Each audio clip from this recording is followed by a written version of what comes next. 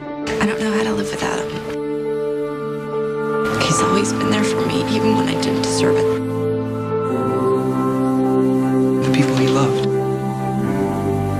And you were most assuredly among them. We have a connection. It's just the way it is. It was so much more than that.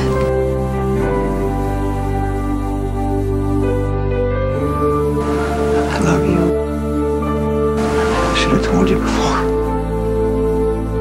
Well, now's when it matters. I love you. And I always will. I deserve so much more.